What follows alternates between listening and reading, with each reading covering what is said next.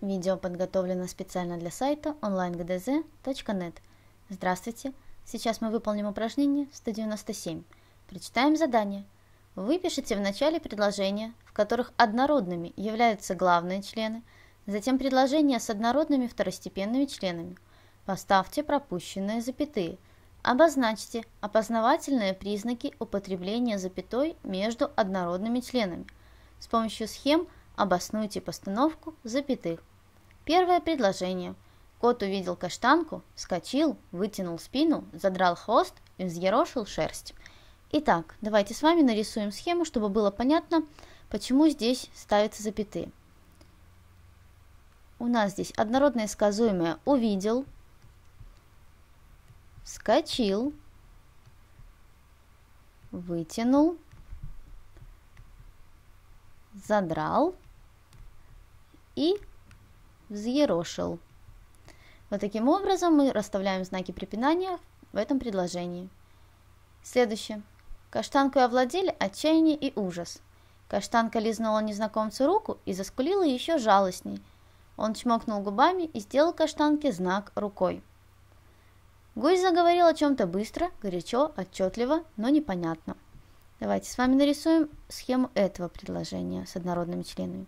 Заговорил как быстро, все это является обстоятельством. Горячо, это тоже обстоятельство. Отчетливо, обстоятельство. Но непонятно.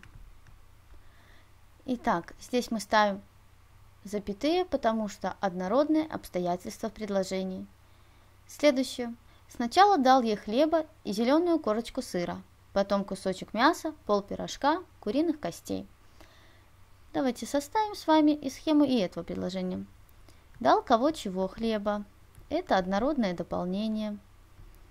И корочку,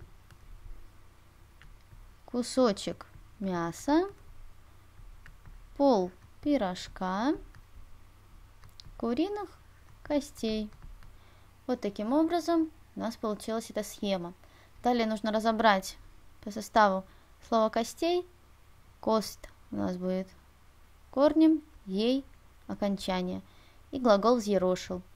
Глагол взъерошить это второе спряжение. В данном случае прошедшее время. Единственное число взъерошил мужской род. На этом все. Спасибо за внимание.